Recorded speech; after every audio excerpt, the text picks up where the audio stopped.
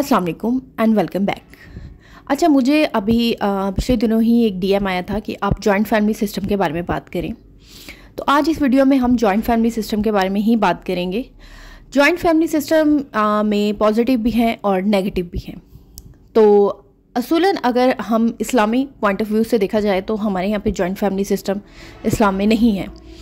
लेकिन हमारे यहाँ पे सोसाइटी में, पाकिस्तान में मोस्टली यहाँ है कि तकरीबन 90 परसेंट जो है वो जॉइंट फैमिली सिस्टम है। जब आप शादी करके जाती हैं तो आपने सास, ससुर, नंद और देवर, देवरानी, जेठानियाँ इनके साथ ही रहना होता है। और मैं भी जो है वो जॉइंट फैमिली में ही रहती हूँ, लेकिन मेरा पोर्शन जो है वो अलग है।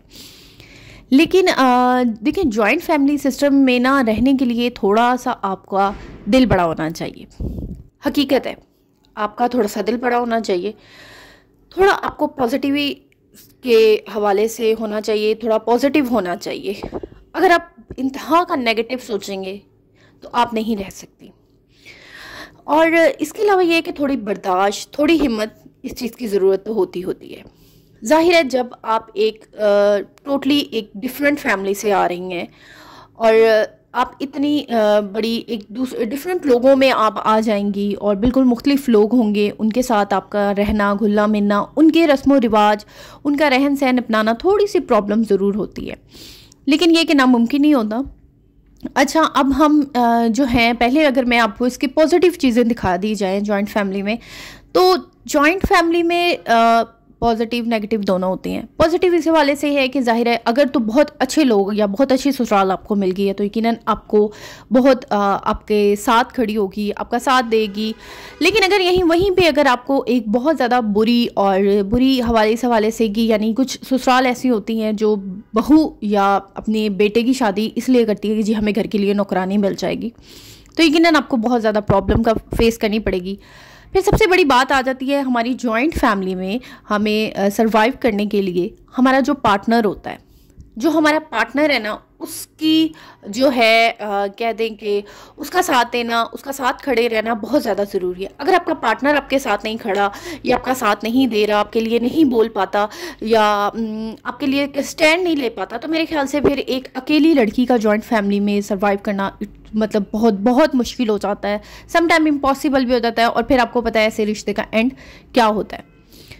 तो देखिए, अगर आपकी शादी नहीं हुई या शादी होने वाली है तो आपने जॉइंट फैमिली में, अगर आप जॉइंट फैमिली में जा रही हैं तो दो बातें अपने जहन में लाजमी रखें। पहले तो आपने हिम्मत रखनी है।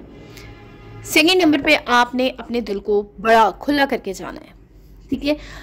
हम हाँ, हम देखें जब हम किसी अ, अगर वही चीज़ हमारी मदर या हमारी सिस्टर हमें कुछ कह देती है मजाकतन या कुछ ऐसा कह दे तो हम शायद बुरा नहीं मानते।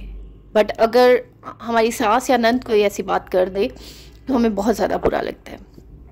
तो थोड़ा सा ये होता है कि हमें अपने माइंड में ये चीज़ रख के जानी होगी कि यार थोड़ा अवॉइड करना अवॉइड करना इग्नोर करना ये चीज़ आपको सीखनी पड़ेगी। उसके अलावा थर्ड चीज़ ये है कि आपने देखिए, ये जो होता है ना, खुश करना, लोगों को खुश करना। मैं, अभी पिछले दिनों मुझे एक डीएम आया था तो उसमें मैंने अगर आपने, आप मेरे पुराने सब्सक्राइबर देखने वाले हैं, मेरा जो जो मेरा ओल्ड यूट्यूब चैनल था, वो किसी वजह से हैक हो गया और उसमें मुझे बहुत ज़्यादा डीएम आते होते थे। तो उसमें मुझे ऐसे किसी ने डीएम किया था कि मतलब मैं अपनी सास का बहुत ज़्यादा करती हूँ और वो मुझसे खुश नहीं होती, नंद सास। तो देखिए अगर तो आप वहाँ पे किसी को खुश करने लग जाएँगे ना, यकीन माने कभी भी जो आपसे पहले दिन नहीं खुश हुआ, उसने खुश होना ही नहीं है, जितना मर्ज़ी आप कर लें। आप अपन लोगों को खुश करना छोड़ दें। पहली बात ये, उनको खुश करें जो, जिनको कदर है आपकी। ये जो मेहनत आप लोगों को खुश करने पे लगा देती हैं, और एक मुझे किसी ने कमेंट भी किया था कि मेरी शादी को आठ साल हो गए और अभी तक मेरी सास मुझसे खुश नहीं है। यानी मैं अगर कोई भी काम कर लूँ तो उन्हें उसमें बुराई ही नज़र आती है। लिटरली यार, आठ साल आपकी सास आपसे खुश नहीं हुए तो आपको क्या लगता है कि वो आगे भी खुश हो जाएगी? तो देखिए, खुश करना लोगों को छोड़ दें। इस चीज़ को यहीं पे ख़त्म कर दें। आप नहीं करना हमने खुश। अपने लिए करें जो करना है। अपनी फैमिली के लिए करें, अपने हस्बैंड के लिए करें, अपने बच्चों के लिए करें। लोगों को खुश करना, ये चीज़ मेरे नज़दीक आई थिंक बिल्कुल ही एक यूज़लेस है। क्यों हम लोगों को खुश करें? वजह? उसके अलावा आ जाता है कि जी जैसे कि जॉइंट फैमिली में अब वही बात कि हमें रूम एक दे दिया जाता है, कहते जी, आपने इसी रूम में रहना है, बच्चे हैं, ये, वो, हमारे तो देखिए, आपको वो एक रूम तो दिया है ना। अब कुछ जो लेडीज़ हैं, वो क्या करती हैं, जी, उसी एक रूम को जहन्नुम बना देती हैं। नहीं उसी एक रूम को ही आपने अपनी दुनिया बना लें उसी एक रूम में सुकून कर लें। आपका पार्टनर और आप उस रूम में खुश रहें नेगेटिविटी उस रूम से निकाल दें। ये चीज़ उस रूम को अच्छे तरीके से अपने जो है वो रखें। कुछ लेडीज़ जो होती हैं ज़ाहिर है इसके अलावा कुछ आ, ऐसी कमेंट्स थे या ऐसे डीएम थे कि लाइक मुझे जैसे कि कि जी आ, मुझे, मैं कुछ भी अपना करने जा रही होती हूँ तो मतलब मेरी सास या मेरी नंद बोलती हैं, तुम ये नहीं करो, तुम ये करो। जो हम कह रहे हैं, तुमने वो करना है। ऐसे नहीं, ऐसे करो, ये नहीं वो। लेकिन अगर आप की सास अगर आपको कुछ कह रही हैं, ठीक है तो आपने सबसे पहले तो ये है कि सुने उनकी। उनके आगे बोल दें, ठीक है जी, हमने वही करना है। लेकिन करना वही है जो आपका दिल करता है, जो आपका दिल कहता है, ठीक है, जो आपको सही लगता है। ठीक है, उनके सामने जी कर दें हाँ जी। बहस नहीं करनी। हम हम, हमारे यहाँ पे जो सबसे बड़ी प्रॉब्लम कहाँ आ जाती है, मैं आपको बताऊँ जॉइंट फैमिली में जी सास और नंदों के साथ जो बहस, मुबालसा स्टार्ट हो जाता है, बहस करना और ये कि यार मतलब शुरू हो जाती हैं जी इन्होंने ये कह दिया, उन्होंने वो कह दिया, ऐसे हो गए। बहस करने से रिलेशनशिप ख़राब होते हैं। आपके पार्टनर के भी, आपके भी। तो आपने बहस से अवॉइड करना। जितना हो सकता है यार इग्नोर करें लोगों को। नेगेटिव लोगों को इग्नोर करें। ज़रूरत ही नहीं है आपको उनको अहमियत देने की इम्पोर्टेंस देने की। ठीक है? और उसके बाद आ जाती है सबसे इंपॉर्टेंट चीज़ नो के यानी आपने नो कहना सीखना है। अब हमारे यहाँ पे जॉइंट फैमिली सिस्टम में क्या होता है? जब हम शादी करके कोई लड़की जाती है तो उसकी सबसे पहले प्योरिटी होती है कि यार, मैं इतने अच्छे अच्छे खाने बनाऊँ, मैं इतना अच्छा अच्छा काम करूँ कि हर कोई मुझसे इम्प्रेस हो जाए। देखिए, आपसे कोई इम्प्रेस नहीं होगा। अगर आपने किसी को इम्प्रेस करना है तो अपने पार्टनर को करें। अपने हस्बैंड पे वो टाइम वो तवज्जो, वो चीज़ अपने हस्बैंड पे स्पेंड करें, ना कि आप आप उस घर वालों को इम्प्रेस करने पे लगें। नॉर्मल रहें, ज़रूरत ही नहीं है। जब आप एक खाने अच्छे बनाने लग जाती हैं, मैं ये नहीं अब कह रही कि आप बहुत बुरे खाने बनाएँ, लेकिन जब आप एक अच्छा काम करने लग जाती हैं परफेक्ट काम आपने किचन संभाल लिया है तो फिर वो आपकी एक मुकम्मल ड्यूटी बन जाती है। हर कोई फिर आपको ही बोलता है, फिर क्या होते हैं, वहाँ से लड़ाई झगड़े स्टार्ट हो जाते हैं, भाई, हर कोई मुझे बोल रहा है, मैं क्यों करूँ? तो भाई, जब आपने स्टार्ट में ही अपना होल्ड रखने की कोशिश की वहाँ पे, और आपको जब एक ड्यूटी दे दी गई है, उसके बाद आपको प्रॉब्लम नहीं होनी चाहिए, क्योंकि आप चाहती थी वो कि आपको ये हो आपको हर कोई आपकी आ, मतलब मैं इस किचन में अपना होल्ड रखूँ। तो आप रखें आप होल्ड किचन में। तो ये कि ये चीज़ और फिर हमें अगर कोई कह देता है फैमिली में कि आ, आप मेरे लिए ये कर दें वो कर दें हम सबसे पहले हाँ जी यस आप कहना भी चाहती हैं नो लेकिन आप कह नहीं पाती। कॉन्फिडेंस तो सबसे पहले तो आपने फैमिली में सबको पहली बात यह है कि ना कहना सीना है जिस काम को आपका करने का दिल नहीं है तो आपने वो काम बिल्कुल नहीं करना। नो सुनो आप कहते हैं, नहीं, भाई मैं मसरूफ़ हूँ या मैं थोड़ा सा बिज़ी हूँ, मैं अपने लिए कुछ काम कर रही हूँ। ठीक है? तो फिर फिर आपने क्या है, ना कहना सीखना है फैमिली में। ये बहुत ज़्यादा ज़रूरी होता है, वरना लोग हमारी कदर नहीं करते वैल्यू नहीं देते हमें कि यार ये तो हर काम ऐसे कर देती है, इसको तो कह दो तो ये सारा कुछ कर देगी। नहीं, आपने ये चीज़ नहीं करनी।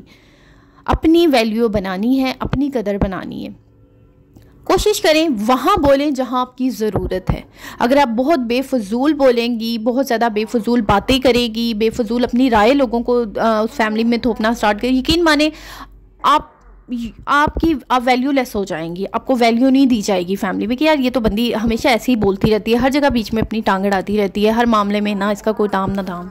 तो आप कभी भी बेफजूल मत बोलें किसी के भी आगे। चाहे वो आपकी नंद की कोई बात हो रही है, आपके देवर की कोई बात हो रही है, कोई देवरानी की बात हो रही है, कोशिश करें यार कि आपको ज़रूरत ही नहीं है किसी दूसरे के काम में बेफजूल बोलने की। लड़ाई हुई है, अगर आपकी नंद देवरानी की लड़ाई हुई तो आपको क्या ज़रूरत है उसके बीच में बोलने की? नो आप बोलें भाई यार उनका मसला है, उनका प्रॉब्लम है।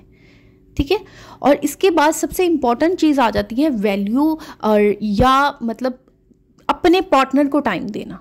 हमारे यहाँ पे अक्सर जो नई शादियाँ हुई होती हैं लेडीज़, हमारे यहाँ पे ये बड़ा सोसाइटी में होता है। अच्छा जब मेरी शादी हुई थी तो मुझे भी ये बात कही गई कि भाई काम करना, किचन को वक्त देना खिदमतें करना, ठीक है भाई, खिदमत आप करें, है ना? कोई नहीं कर रहा, लेकिन चीप, सबसे इंपॉर्टेंट चीज़ होती है अपने हस्बैंड को टाइम देना, अपने हस्बैंड के लिए केयर हो, करना, अपने हस्बैंड के लिए तैयार होना, ये चीज़ हम लोग भूल जाते हैं।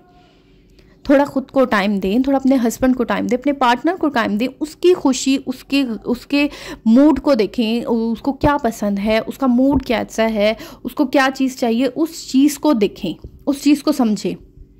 देखिए, एक टाइम ऐसा आता है शादी के मतलब दो या तीन साल जब आपके गुजर जाते हैं ना तो टाइम ऐसा होता है तो पार्टनर को आपकी बहुत ज़्यादा ज़रूरत है। तब वो जो आपका दूसरा पार्टनर है, वो चीज़ देखने लग जाता है कि यार, ये मेरी कितनी केयर करता है, या मेरे साथ किस हद तक खड़ा है।